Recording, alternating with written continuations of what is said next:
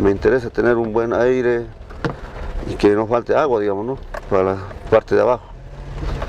Si hay una, un- una buena compensación, digamos, yo sé que la gente pone su tierra en conservación, pero el problema es que no, no hay eso.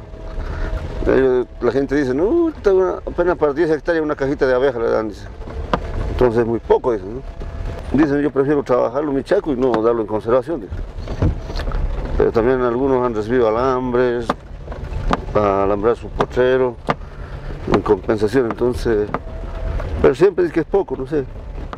Por decirle ya, si yo tengo mi tierra, viene la institución me dice, queremos que usted también participe, bueno, yo le doy ya, pongo mi tierra en conservación, pero ¿qué recibo yo a cambio?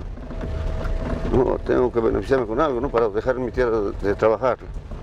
Han dicho que vamos a traer plantines, nos han prometido todo, y nunca han traído nada. En un tiempo han, hablado de computadoras. ¿Cómo, ¿Cómo bueno sería, le dije, profe, ir a reforestar con los alumnos lo- las tierras de los que están en conservación? Vamos a reforestárselos y nos van a dar una computadora por cada hectárea que se reforeste. Y entre los muchachos, con todo, les vamos, reforestamos unas dos, tres o cuatro hectáreas cuando sea, en, en dos, tres meses, y vamos a tener computadoras para la, para la escuela, les dije.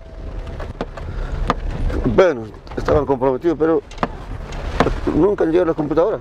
Nunca llegaron. Nunca llegaron. Todo se ha quedado en ideas.